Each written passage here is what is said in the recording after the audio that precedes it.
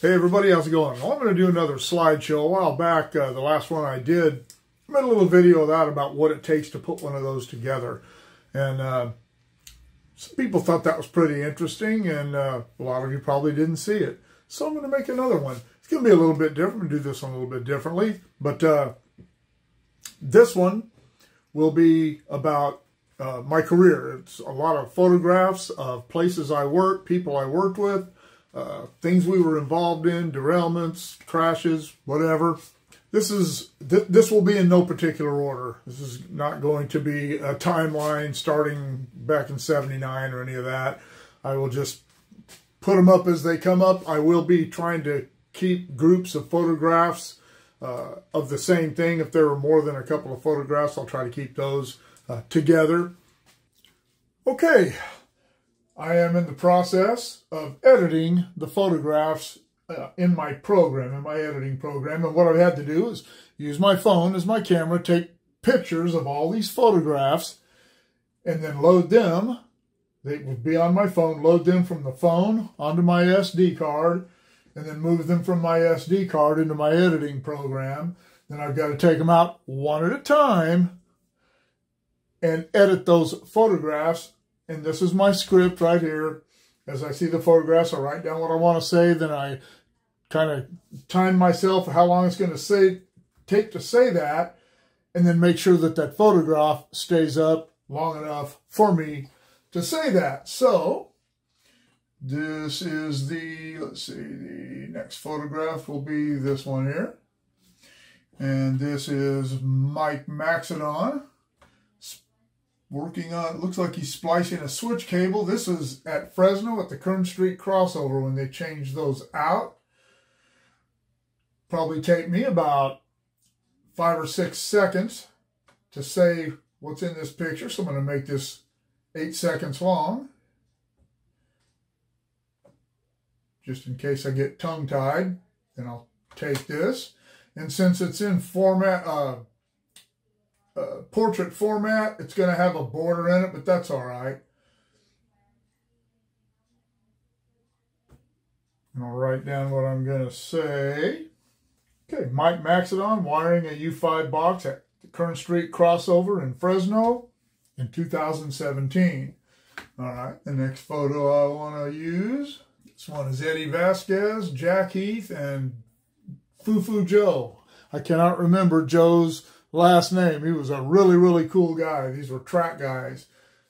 But they're uh, replacing an insulated joint, putting an insulated joint in. This was down between Walong and Woodford. I'm not going to show me doing this. Gen's already seen it, but I remember that day when I took that picture.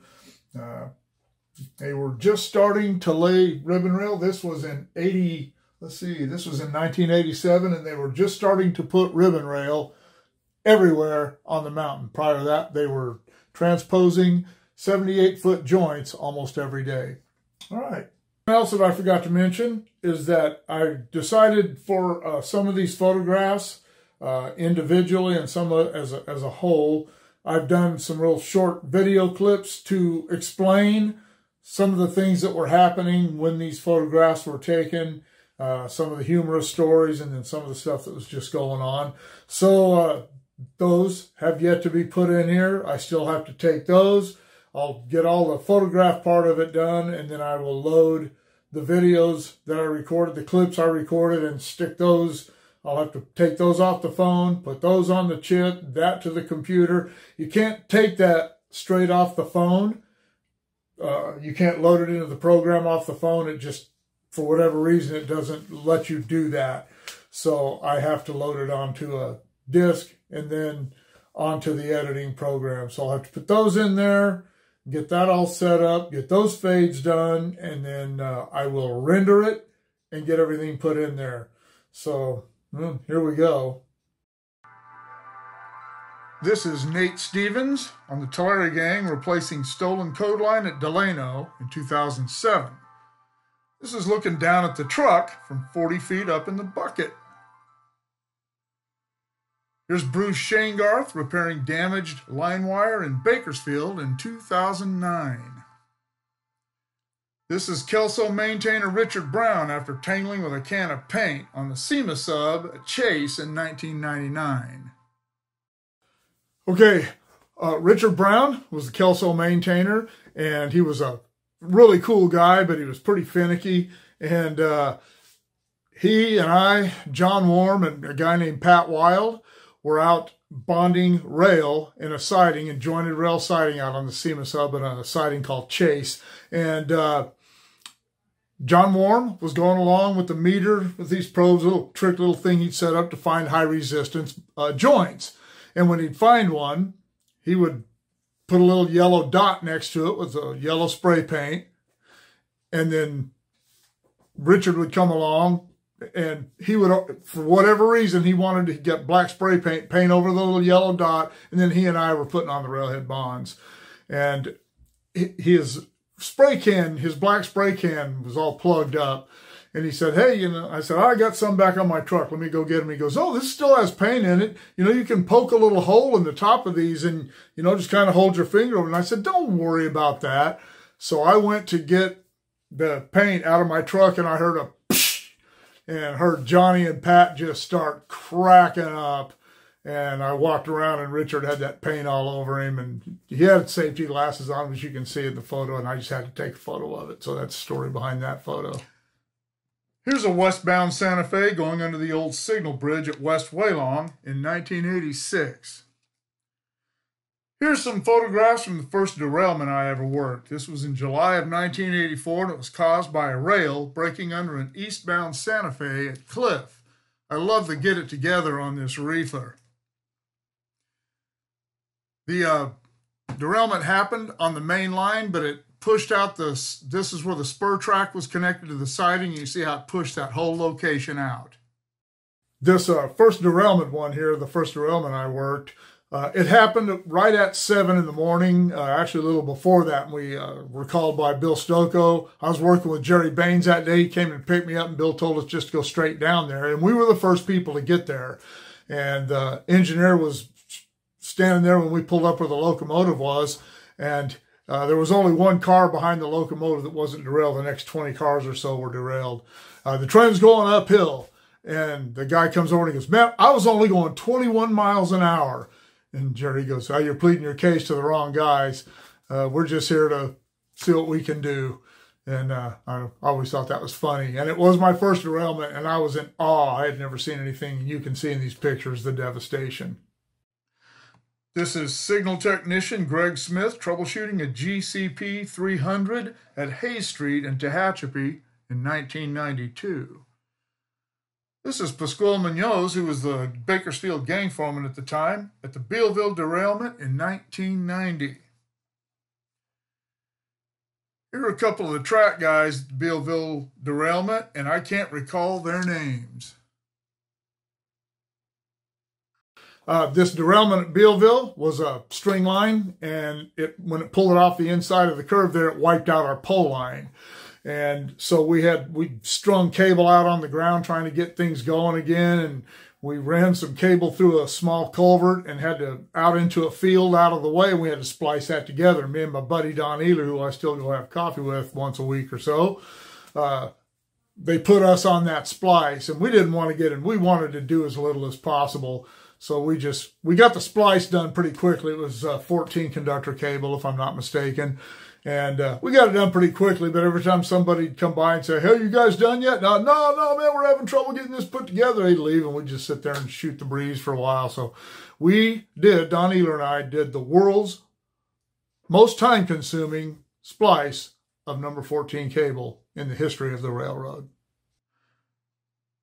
Here is Mike Maxedon wiring a U5 box at the Kern Street crossover in Fresno in 2017. Eddie Vasquez, Fufu Joe, and Jack Heath finish up installing an insulated joint between Woodford and Walong in 1987. This is a derailment on the horseshoe curve at Caliente in 2002. A BNSF straight lined it. Here, crews are cleaning up a, a, derailment that had occurred a couple of weeks earlier below the loop in 1987. This was the second derailment I worked. It was August 1984, and a broken axle caused this one. The late Steve Green points out a seriously broken rail at Rowen in 1986.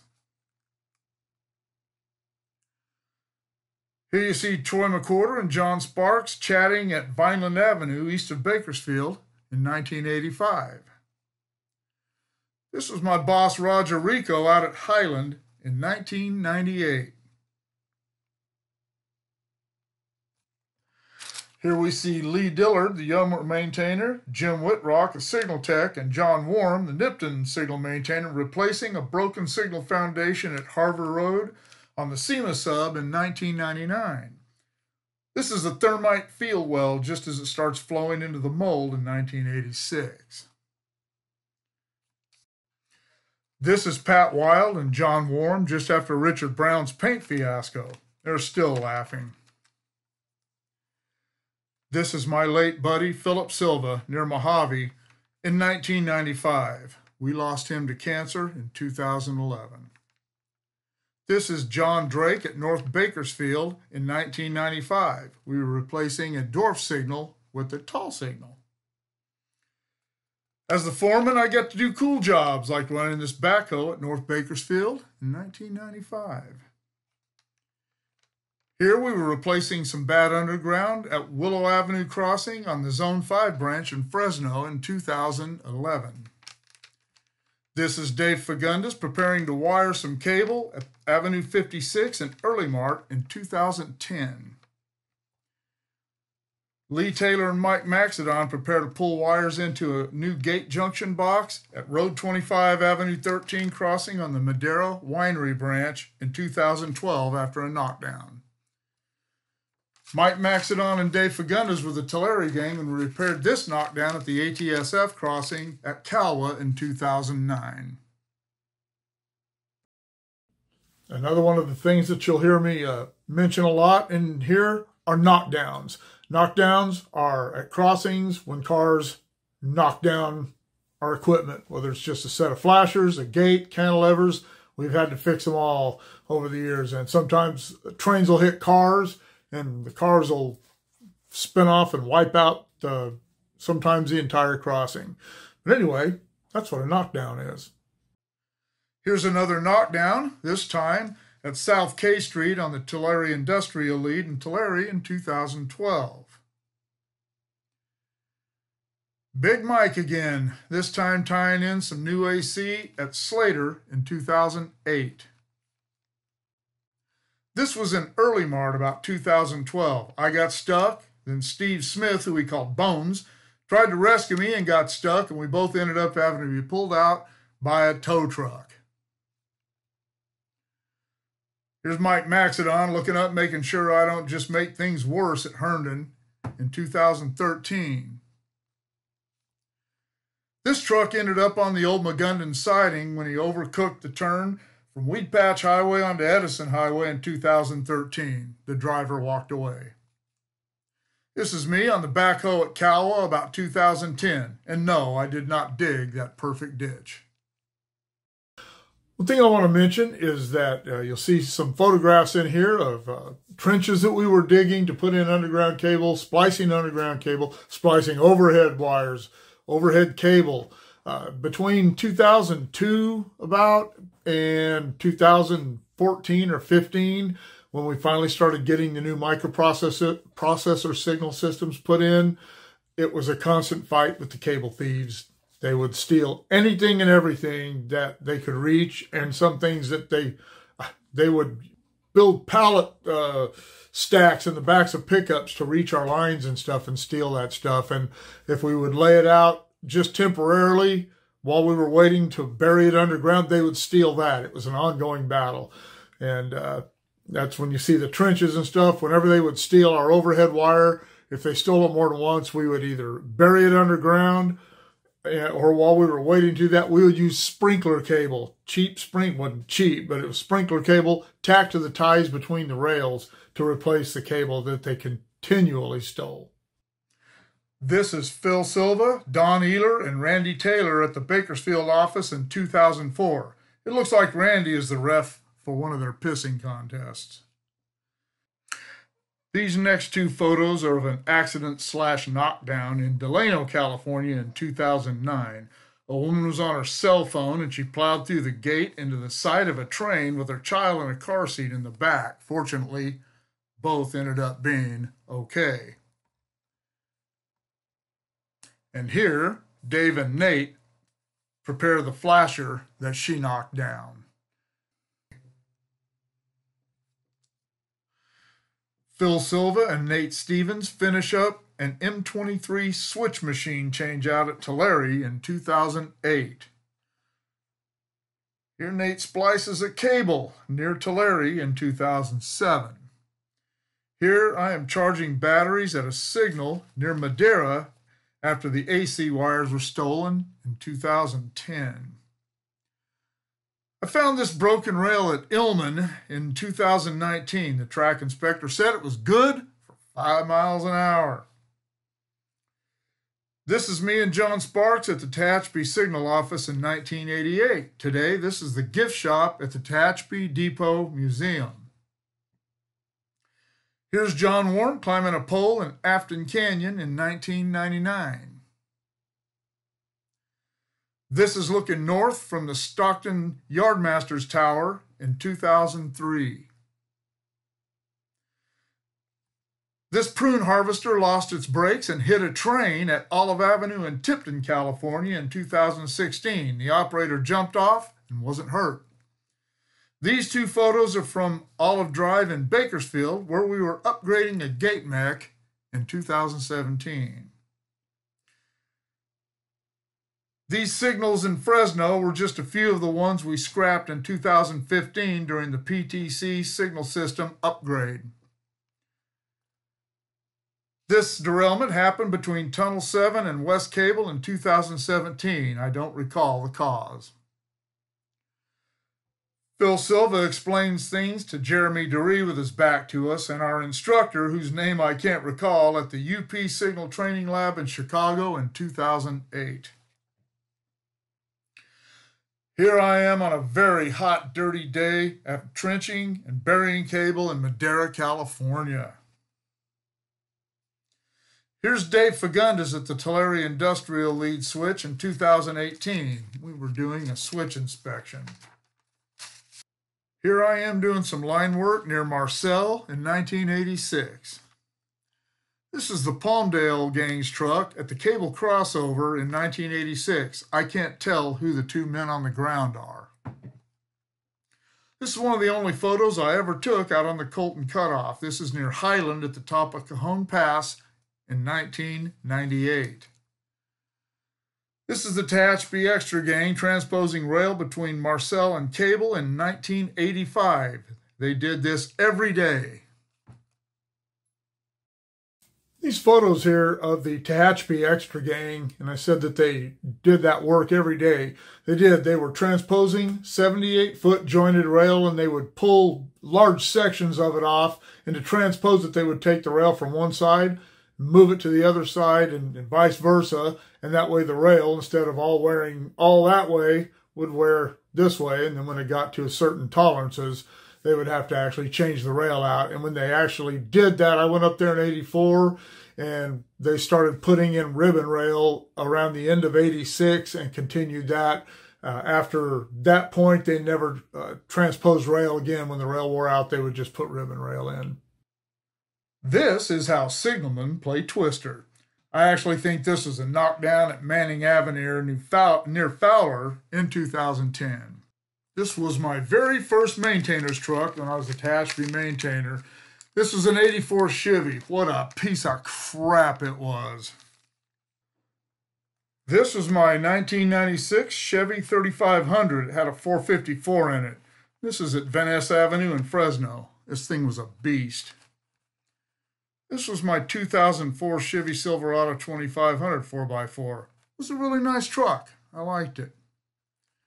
This was my 2011 Dodge. It was in the shop so much that it was pulled from the fleet in 2013.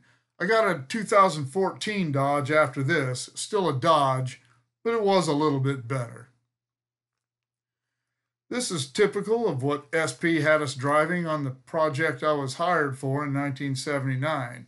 This one was pulled over by the CHP out in the desert and deemed unsafe to drive. We never saw it again. This was in Chowchilla in 2011 when a hay truck tried to beat a 50 mile an hour train. No one was injured, but hey. this is Jerry Baines and Ed Lamb digging in cable at Mojave in 1979. Left to right, this is Steve Green, Jerry Baines, and myself at the Tehachapi Signal Office in 1985. Here, Steve Green applies a railhead bond out near Monolith as a trackman looks on in 1986. A truck swerved to avoid a stopped car and took out the case and location pole at Olive Avenue here in Tipton in 2011. No one was injured. There's a knockdown at Olive Drive in Bakersfield in 2012. Most of the rest of the photographs you're going to see were taken by Bill Stocco uh, during the uh, 1979 and 80 project that I was hired out to work on, which was installing uh, PMTC uh, circuitry to run the CTC between Mojave and West Colton. And as you saw in one of the other videos that I had, if you saw that, uh, I got these pictures out of Bill's scrapbook that his widow gave me when Bill passed away in 1999. Here's Bill Stocco on a block signal somewhere out in the desert, acting like he's doing something important. Here's Gang 9 working at East Lancaster in 1979. When the project ended, this gang and this signal both went away. Track and signal gangs installed new ties and a new M23 switch machine at West Ancell between Mojave and Rosamond in 1980. Setting an intermediate signal in 1979. The westbound signal here would be the approach to Palmdale 2. I'm the one with my arms folded across my chest. Uh, this particular photograph was taken on a day when the Southern Pacific Bulletin people were out there. And the SP Bulletin was the company uh, magazine that was put out monthly. And uh, they were doing a piece on the CTC project that we were out there working on. This job, setting this intermediate signal, should have taken from the time we rolled up there till the time we set the signal and got it wired up and ready to test should have taken no more than two or three hours. And we were out there almost the entire morning while these guys waited for the sun to get in the right places. And they wanted to have people who looked just right. They didn't want to have goofy guys like me with big bushy hair and uh, guys with scroungy clothes or whatever. Everybody had to look just right. And it was just a big hassle. I was really new still when they did this, and I didn't understand all the hoopla. I just wanted to get the thing done, uh, get everything done before it got any hotter because it was during the summer. Here, John Sparks applies a railhead bond while I look on in 1980. I think this was at East Ancell. I shot this from a high rail truck in Fresno in 2006. The Palmdale gang prepares for a day of line work at Mojave in 1980. The locomotive and caboose are on the former A&P main line.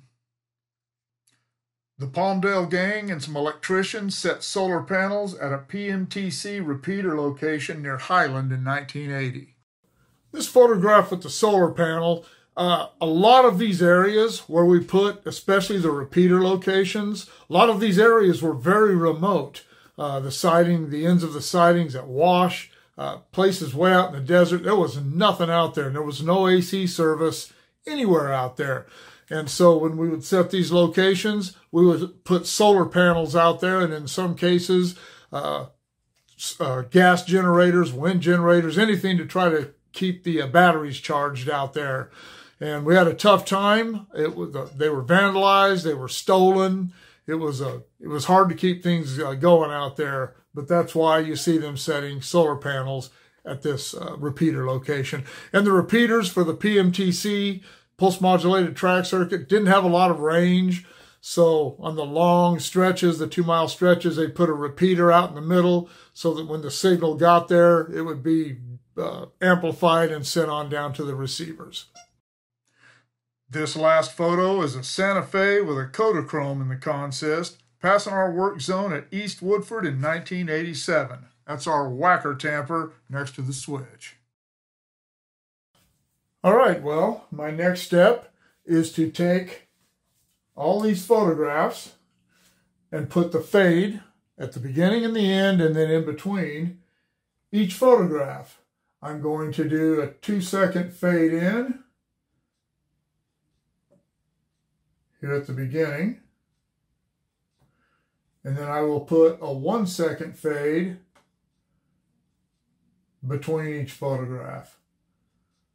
A lot of times I'll do two seconds, but when the photographs are this close together, most of these are no longer, uh, they're between six and 10 seconds.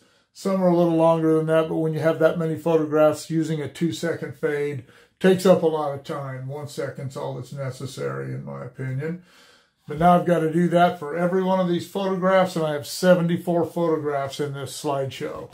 So uh, that won't take me that awful long, but it has taken me a few hours from the time I started this until where I am right now. I did take a break for dinner, but it's taken me, I've worked on this for about four hours now, and the script is uh, quite a few pages long. And uh, the next thing, after I put all these uh, fades in, the next step will be narrating it. Well, it is the next day. I didn't finish this last night. Obviously, I got everything done but the narration. The narration's quite time consuming and has to be done in blocks on this one rather than one straight through. Uh, doesn't matter. This is probably easier. I've never done it this way, but being broken up with clips makes it where you don't have to stay in time so long. But anyway, I wanted to do just kind of go shoot a little piece of how the narration goes on a short block. So, uh, got to get the narration tool turned on. Get your parameters set up. Get your script ready. Here's another knockdown, this time at South K Street on the Tulare Industrial Lead in Tulare in 2012.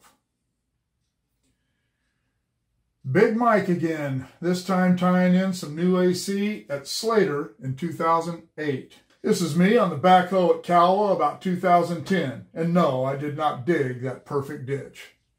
Okay, that's all done.